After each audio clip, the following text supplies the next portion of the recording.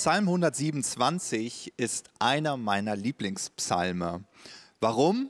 In ihm verbergen sich ganz kostbare Lebensweisheiten, die jedes Leben ungemein bereichern können. Die ersten Verse von Psalm 127 sprechen über vergebliche Liebesmühe. Du baust, du steckst deine ganze Energie hinein, aber du baust vergebens. Du versuchst dich und dein Hab und Gut vergebens zu schützen, es sei denn, du hast Gott auf deiner Seite. Dann ist dir Segen in all deiner Mühe gewiss. Und dann heißt es weiter im Psalm 127, auch Kinder sind ein Geschenk des Herrn. Wer sie empfängt, wird damit reich belohnt.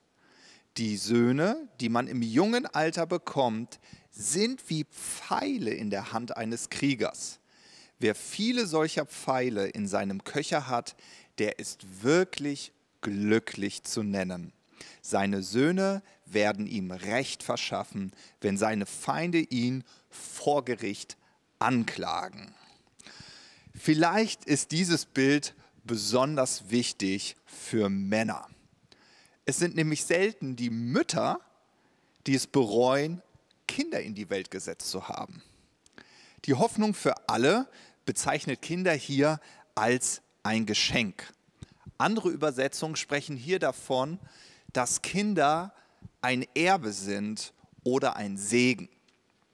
Ein Erbe beispielsweise ist nicht nur einfach materieller Segen, sondern die Möglichkeit, Einfluss zu nehmen, etwas zu prägen, etwas zu kultivieren und wir finden im Alten Testament ein richtig gutes Beispiel dazu, nämlich Gott hat den Israeliten ein Land versprochen. Das war ihre Zukunft, dieses Land Kanaan. Und dieses Land sollten sie kultivieren und mit Gottes Art prägen und somit Einfluss nehmen. Und hier versteckt sich schon ein geheimes Lebensprinzip. Wenn du Kinder hast, hat Gott dir durch ihr Leben ein Erbe geschenkt.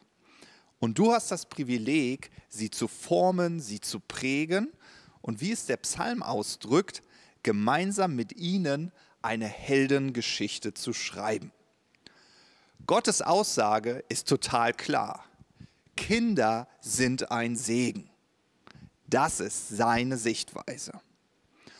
Und wenn wir die beiden Teile des Psalms gegenüberstellen, dann haben wir auf der einen Seite die vergebliche Liebesmühe und auf der anderen Seite den Segen Gottes, nämlich Kinder.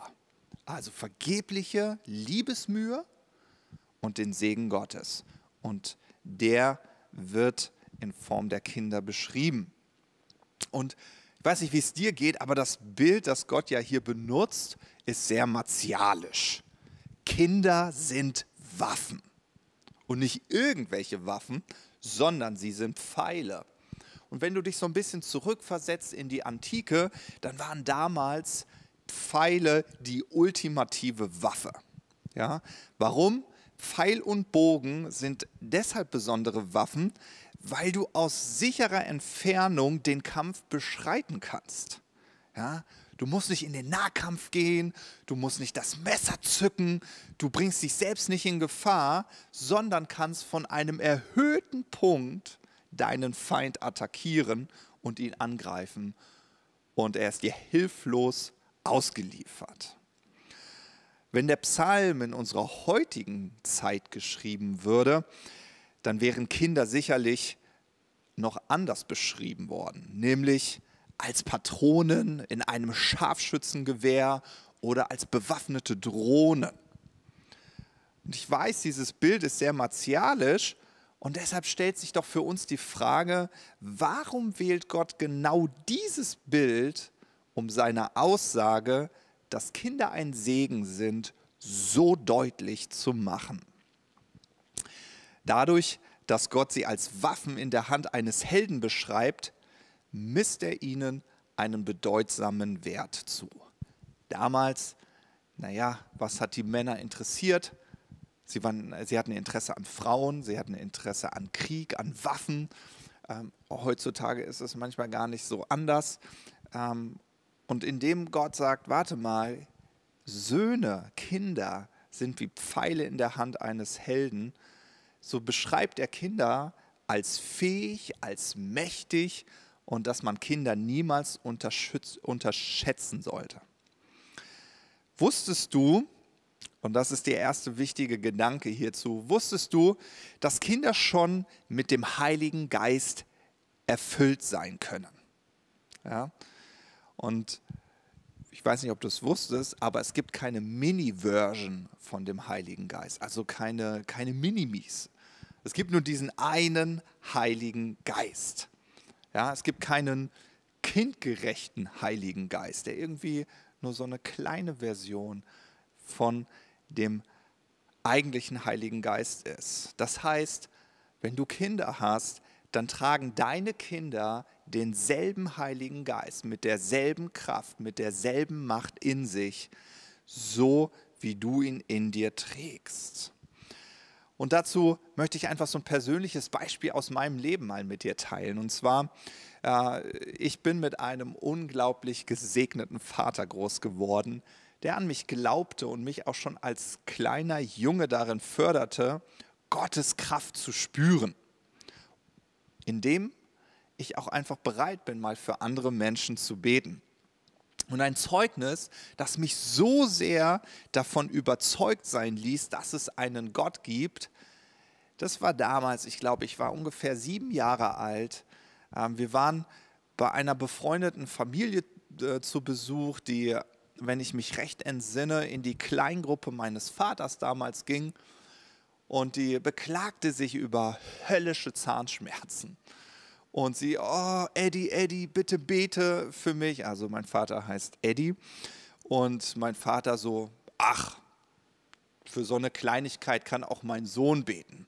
Und ich weiß, dass ich einfach nur am Spielen war und mein Vater rief mich und sagte, Matthias, komm rüber. Und ich so, ja, Papa, was, was ist los? Was möchtest du? Und mein Papa, so wie er ist, sagte einfach, geh mal hin und bet für die Frau, die hat Zahnschmerzen. Und es war total selbstverständlich für mich, einfach zu dieser Frau hinzugehen, meine Hand aufzulegen und in kindlichen Worten diesen Zahnschmerzen zu gebieten, dass sie zu weichen und zu gehen haben. Und das habe ich auch gemacht. Und wie das so ist, als Kind bist du nicht verblüfft davon, wenn das geschieht, was du sprichst. Deswegen war ich nicht verblüfft davon, dass die Zahnschmerzen gewichen sind, weil ich das immer so erlebt habe als Kind. Ich bete für was und dann passiert es auch. Spannender war die Reaktion dieser Frau, die dann total verblüfft war, weil ihre Zahnschmerzen vollkommen weg waren. Ja? Und das ist dieses unglaubliche Privileg, das du als Eltern hast, dass du als Vater, dass du als Mutter hast, nämlich dein Kind in den geistlichen Dingen zu unterweisen. Und dies ist in erster Linie nicht Aufgabe deines Pastors oder die Aufgabe der Mitarbeiter, die Sonntag für Sonntag für deine Kinder etwas vorbereiten, damit sie Jesus Christus besser kennenlernen, sondern dein Kind in geistlichen Dingen zu unterweisen, das ist in erster Linie deine Aufgabe als leiblicher Vater, als leibliche Mutter. Und ähm, ja, ich hatte in meinem Vater ein gutes Vorbild. Ähm, aber ich möchte heute auch mal mit dir teilen, wie ich das mit meiner wundervollen Frau Anja zusammen mache. Und ein großes Geheimnis ist, dass wir dafür in unserem Alter keine extra Zeit reservieren. Also es ist nicht so, dass ich sage, ah, heute äh, um 17 Uhr treffen wir uns mal alle und dann lese ich mal aus der Bibel vor oder ähm, ah, was, könnte ich, was könnte ich denn eigentlich sonst noch machen? ich nutze einfach den Alltag. Alltagssituationen sind die beste Möglichkeit, um Kinder zu unterweisen. Denn das Leben ist einfach der beste Lehrmeister. Unsere Kinder zum Beispiel lernen vergeben, indem wir die Streitsituationen nutzen, die im Alltag vorkommen. Also mein, mein großer Sohn Aaron und mein kleiner Levin, die streiten nicht so häufig, aber es kommt schon mal vor. Und wenn sie streiten und dann sauer sind, dann nutzen wir genau diese Situation, dass wir ihnen beibringen, wie wichtig es ist, einander zu vergeben. Und unsere Kinder lernen natürlich auch, die Stimme Gottes zu hören. Ja, ich weiß nicht, ob du das glaubst, aber ich glaube, dass es das Natürlichste der Welt ist, dass du Gottes Stimme hören kannst. Und das vermitteln wir natürlich auch unseren Kindern. Und für sie ist es das Natürlichste der Welt. Und gerade, ich, ich äh, beschreibe euch mal, wie wir das auch üben, gerade jetzt im Urlaub haben wir das auf ganz spielerische Art und Weise gemacht. Ja? Und äh, es ist so, dass ich wahrscheinlich, wenn du gerade äh, aktuell dieses Video guckst, ähm, es gibt gerade diese Rewe-Karten, also diese Fußballkarten. Ich zeige dir die einmal. Äh, und die gibt es in zwei Versionen. Es gibt einmal diese normale Version. Hier der coole Toni Kroos, der bei Real Madrid spielt. Ja, werden dieses Jahr nicht Champions League-Sieger, nur der FC Bayern.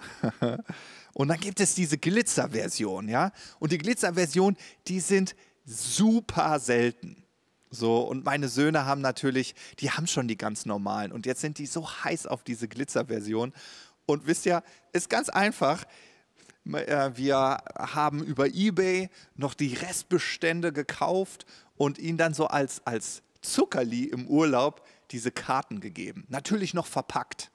Ähm, und mein Vater, äh, der mir schon beigebracht hat, dass es das Natürlichste auf der Welt ist, Gottes Stimme zu hören, ähm, genau, sieht, wie mein Sohn ein Packen von, ich glaube, zehn Karten, vielleicht waren es noch zehn Karten in der Hand hielt. Und er, oh, ich, und, Aaron so, oh, ich hoffe, da ist ein Glitzer drin. Oh, ich hoffe, dass da eine Glitzerkarte drin ist. Und mein Vater sagte dann, warte mal, Aaron, frag mal Gott, ist da eine Glitzerkarte drin?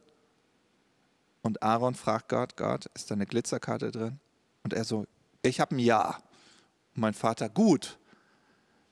Und nahm die Karten ihm aus der Hand, hielt sie ihm hin. Und welche ist es? Und wie soll das wissen? Ich meine, die sind ja, die sind ja verpackt. So, also guckt Aaron auf die Karten, zieht eine Karte und sagt, hier ist eine Glitzerkarte drin. Er reißt die Tüte auf und da war die Glitzerkarte drin. Und es war die einzige Glitzerkarte, die in all diesen restlichen Karten war. So, und das ist einfach so eine spielerische Art, wie wir unseren Kindern beibringen, dass es das Natürlichste der Welt ist, Gottes Stimme zu hören. Und warum ist das so wichtig? Naja, ganz einfach. Irgendwann möchten wir, dass unsere Kinder in den wichtigen Lebensentscheidungen fähig sind, die Stimme Gottes zu hören. Wenn sie ihren Partner wählen, wenn sie den Berufsweg äh, wenn sie die Entscheidung treffen, welchen Berufsweg sie einschlagen wollen, dann wollen wir sicher gehen, dass sie die Stimme Gottes hören können. Ähm, und das ist eine Art, wie wir unsere Kinder in diesen geistlichen Dingen unterweisen. Und jetzt siehst du, dass deine Kinder in Bezug auf geistliche Dinge ebenbürtig sind weil sie einfach keine Mini-Version des Heiligen Geistes haben, sondern denselben Heiligen Geist wie du und ich. Und es bedeutet auch, dass ihr Gebet mindestens genauso kraftvoll ist wie deins. Aber Jesus geht ja noch weiter. Jesus sagte, wenn ihr nicht werdet wie die Kinder. Ja, ähm, ich lese euch hier mal eine Bibelstelle vor, ähm, aus dem Lukasevangelium. Da heißt es, in dieser Zeit kamen die Jünger zu Jesus und fragten ihn, wer ist wohl der Wichtigste in Gottes himmlischem Reich? Und wisst ihr, was Jesus tat? Jesus rief ein kleines Kind, stellte es in ihre Mitte und sagte, ich versichere euch, wenn ihr euch nicht ändert und so werdet wie die Kinder, kommt ihr ganz sicher nicht in Gottes himmlisches Reich. Ja? Aber was macht Kinder denn so besonders? Und heute möchte ich fünf Punkte mit dir teilen. Fünf Punkte, was wir durch Kinder lernen können. Und ob du nun eigene Kinder hast oder vielleicht Onkel, Tante bist und dadurch Kinder hast oder einfach so im Alltag Berührung mit Kindern hast, ja, es gibt fünf Punkte, die wir durch unsere Kinder lernen können. Der erste wichtige Punkt ist, was erwarten Kinder von ihrem Alltag? Natürlich Spaß. Ja? Sie wollen das Leben wie ein Abenteuer erleben und entdecken. Also meine Jungs sind so. Wenn ich denen sage, na, habt ihr Bock zu putzen? Haben die keinen Bock drauf? Ist langweilig, ist öde. Ich meine, das sollen sie auch lernen, auf jeden Fall. Aber Kinder erwarten in erster Linie, dass es Spaß machen muss. Schule soll Spaß machen. Äh, der Sportunterricht soll Spaß machen. Der Hauptgrund, warum Kinder aufhören, Sport zu machen, ist, weil es ihnen keinen Spaß macht. Das liegt häufig am Trainer, weil er nicht in der Lage ist, ihnen das spaßig zu vermitteln. Oder wir Eltern wünschen uns, dass Kinder Instrumente lernen. Wenn der Musiklehrer nicht imstande ist, für Spaß zu sorgen, dass die Kinder Spaß daran haben, das Instrument zu lernen, wollen die Kinder aufhören. Es geht ihnen darum, Spaß zu haben. Ja, das Leben soll nicht zu ernst sein, sondern spannend und lustig. Ja, und was, wie geht's dir damit? Was erwartest du von deinem Alltag? Ich glaube, es ist Zeit für mehr Spaß. Ja? Und kein Wunder, dass eine Eigenschaft des Heiligen Geistes Lachen und Freude ist. Ja, du hast richtig gehört. Lachen und Freude. Das ist eine Eigenschaft, die ganz besonders in Bezug auf den Heiligen Geist zum Ausdruck gebracht wird. Er ist eine überfließende Freude. Und ich mache das auch in meinem Alltag ganz persönlich so. Ich muss mir das auch immer wieder in Erinnerung rufen. Nimm das Leben nicht so ernst. Ja? Und zwei gute Fragen, die dir helfen, ist, dass du dich einmal fragst, wann habe ich das letzte Mal so richtig gelacht? Ja? Und wann hat man am meisten Spaß? Häufig, wenn man spielt. Wann hast du das letzte Mal einfach mal sinnlos gespielt? Ja? Wo es nicht darum ging, äh, Erster zu sein, Sieger zu sein, wo du nicht verkrampft warst, sondern wo es einfach nur um, um den Faktor Spaß ging. Ja? Das kannst du von deinen Kindern lernen. Also der erste Punkt, ja, Spaß. Der zweite Punkt, Kinder lernen durch Abschauen. Ja? Kinder lesen keine Bedienungsanleitung, sondern beobachten ihre Eltern, wie sie beispielsweise technische Geräte bedienen. Ja, ich habe hier mein, äh, äh, mein iPad hier liegen. Ich habe auch ein Smartphone, wie die meisten Eltern heutzutage. Ja, und die Kinder, die brauchen keine Bedienungsanleitung, sondern die gucken, ah, wie machen Mama und Papa das? Okay, ich drücke da auch mal drauf und dann verstehen sie schnell, ah, es ist ein Touchscreen. Aha. Und das schaffen Kinder auch schon, die anderthalb Jahre alt sind. Ja, Kinder lernen durch Abschauen. Und deswegen suchen Kinder auch instinktiv Vorbilder und Mentoren, die sie mit Fragen löchern können. Papa, warum machst du das? Papa, wieso wird es abends immer dunkel?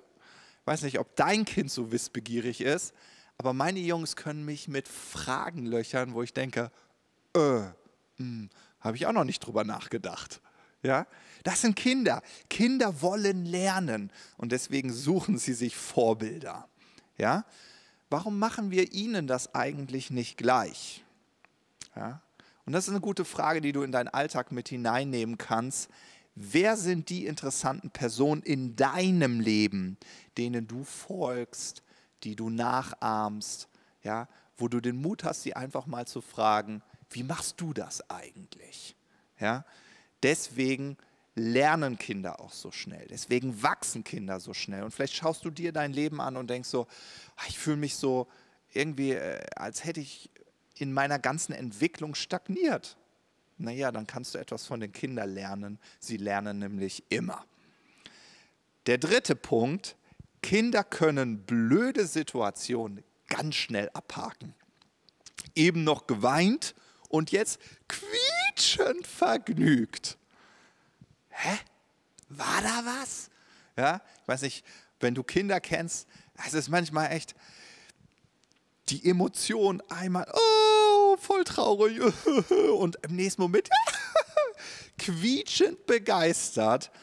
Keine Zeit mit Vorwürfen und Selbstanklage vergeuden. Einfach das Leben nehmen, wie es kommt. Und ich glaube, das ist auch etwas, was wir von Kindern lernen können. Ja, nicht so lange irgendwie so eine Self-Pity-Party feiern, Selbstmitleid, oh, auch irgendwie so äh, Enttäuschung und, und Dinge nachweinen, sondern einfach hinter dir lassen, ist passiert und jetzt fokussiere ich mich wieder auf das, was ich von meinem Leben mir wünsche und erwarte. Der vierte Punkt, Kinder vertrauen und machen sich keine Sorgen. Zum Beispiel über Finanzen. Ja? Kinder träumen einfach groß. Ja? Papa, ich will in einem großen Haus wohnen und am besten einen riesigen Swimmingpool. Also das wären bestimmt die Träume meiner Söhne. Ja? Für Kinder ist einfach alles möglich. Ja? Sie lieben es, groß zu träumen, sich Dinge in ihren Fantasien schön auszumalen. Und weil für Kinder alles möglich ist und sie sich eben keine Gedanken darüber machen, na, wie kann das jetzt zustande kommen, wie funktioniert das denn, ist das Ziel, das wir häufig als Eltern verfolgen, ah, jetzt werd mal vernünftig. Hast du dir überhaupt Gedanken dazu gemacht? Wie soll ich das Ganze denn finanzieren? Ja? Jesus ruft uns dazu auf, wie Kinder zu werden. Und wenn es eine Eigenschaft gibt, die Kinder uns wirklich lehren können, dann ist es, groß zu träumen und sich schöne Dinge auszumalen und vorzustellen. Und es ist so, große Träume sind der Beginn von großen Heldengeschichten. Große Träume ist der Beginn von großen Heldengeschichten. Und diese großen Träume, dazu lädt Gott dich ein. Warum tut er das? Weil unsere gestrigen Gedanken und Vorstellungen unser Heute erschaffen haben. Also das, was du gestern gedacht hast, das, was du gestern ausgesprochen hast, das, was du dir gestern ausgemalt hast, ist zu deinem Heute geworden und somit werden deine heutigen Gedanken und Vorstellungen deine Zukunft prägen. Und deshalb ist es so wichtig, dass wir lernen, groß zu träumen, uns groß zu sehen. Und das ist der vierte Punkt, was du von Kindern lernen kannst. Der fünfte und abschließende Punkt, den ich heute mit dir teilen möchte, ist, Kinder wagen mutige, manchmal sogar waghalsige Manöver. Ich habe das als Kind gemacht, vielleicht du auch. Ich habe auf Bäume geklettert und ich habe mir nicht darüber nachgedacht, ist der Baum morsch, könnte der abbrechen, sind die Äste noch, äh, sind die noch stabil genug und ich könnte dir etliche Geschichten erzählen, wo ich auf Bäume, Bäume echt geklettert bin und die sind dann äh, sind die Äste gebrochen. Ich erinnere mich, wir hatten so einen Kirschbaum in unserem Garten und ich bin bis ganz oben geklettert und die Äste werden ja immer dünner und dann brach der erste Ast und ich saß drauf und dann bin ich auf den nächsten Ast, auf den nächsten und es waren ungelogen sieben bis acht Metern Höhe, aus dem ich gefallen bin, weil ich jedes Mal auf den nächsten Ast gefallen bin. Und dann bin ich unten aufgekommen. Ich habe mir nichts gebrochen, aber irgendwie der Schädel hat mir irgendwie wehgetan. Äh, und äh, genau, ich, ich, war, ich war einfach waghalsig. Ich habe einfach Dinge ausprobiert. Äh, eine andere Geschichte, da habe ich in unserem Vorgarten, da war so ein schöner Baum, auf dem bin ich geklettert, der war total morsch. Ich hab, wusste das nicht. Und dann kletter ich da drauf und dann kracht der um und kracht auf das Auto. Und wie ich so war, ich, ich wollte das verheimlichen. Und dann, äh, genau, sitze ich oben am Küchentisch und meine Schwester, die war mal ganz klein und sagt, und dann sagt sie, und da hat es Bumm gemacht, da hat es Bumm gemacht. Und meine Mutter war da, hä, was hat der Bumm gemacht? Und dann sagt sie, ja, Matthias ist auf einen Baum geklettert und da hat es Bumm gemacht. Und meine Mutter, was? ja, so ist das manchmal, ja. Kinder wagen mutige, manchmal waghalsige Manöver. Ja, das ist dieser fünfte Punkt. Und es braucht einfach diese mutigen Entscheidungen, wenn wir in unserem Leben etwas ändern wollen, wenn wir unserem Leben eine neue Richtung geben wollen. Weil manchmal sind wir so eingefahren, dass wir es kaum wagen, neue Dinge auszuprobieren. Und meine Mutter hat immer zu mir gesagt, wenn du etwas haben willst, was du zuvor noch nicht hattest, dann musst du etwas tun, was du zuvor noch nie getan hast. Klingt logisch, aber es bedeutet, dass du mutig werden musst. Mutige Entscheidungen bringen dich voran. Und das ist, was Kinder tun. Kinder probieren gerne mal neue Dinge aus, solange es kein gesundes grünes Gemüse ist. Oh, Igitt. Und das wäre ein guter Action-Step so für dich, auch zum Abschluss dieser Predigt, dass du dich einmal fragst, was könnte ich neu wagen? Was hat Gott dir vielleicht schon länger aufs Herz gelegt, was du noch nicht gewagt und umgesetzt hast? Ja? Und das sind diese fünf Punkte, die wir von Kindern lernen können. Erstens, sorge für Spaßmomente. Zweitens, habe Vorbilder, die du mit deinen Fragen löchern kannst. Drittens, blöde Situation einfach mal schnell abhaken. Viertens, groß träumen. Und nicht zuletzt, fünftens, mutige Entscheidungen treffen, weil die deinem Leben eine neue Richtung geben können. Ja? Und deshalb ist es Jesus so wichtig, dass wir so werden wie die Kinder. Und ich möchte dich ermutigen, dass das nächste Mal, wenn du mit einem Kind in Berührung trittst, vielleicht ist es dein eigenes, vielleicht ist es ein Nachbarskind, hab den Mut, von einem Kind zu lernen, weil sie keinen kleinen Mini-Heiligen Geist haben, sondern denselben Heiligen Geist wie du und erwarte, dass du aus dem Leben von Kindern lernen kannst. Jesus, ich danke dir, dass du uns ermutigst, wie Kinder das Leben zu entdecken. Und ich danke dir, dass du uns deinen Heiligen Geist geschenkt hast, der uns in allen Lebensfragen zur Seite steht.